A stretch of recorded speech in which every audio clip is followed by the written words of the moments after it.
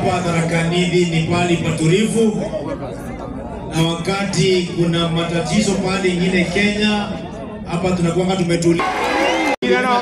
Ukifanya kazi ile si kitu inaweza kuweza wewe, kwa sababu ni kitu ambaye inawezekana, ndio ni pesa mingi, lakini hawa wangwana wa bunge wakiendelea kusapoti wewe kule kwa bunge na budget, itapatikana pesa ya kutengeneza hiyo hiyo bridge ya Nithi. Wa Kenya wawache kuenda. Wacha niwahakikishie Mheshimiwa Rais, kwa sababu tumefanya na wewe kazi miaka miaka kumi na tano. Mheshimiwa Rais huwa aweki ahadi ambaye hatafanya. Aliahidi hiyo barabara ya Nithi, na mimi niko na hakika ikifika 2027 tutaona kitu imeanza kusonga ikiendelea. Asante sana na Mungu. Haya.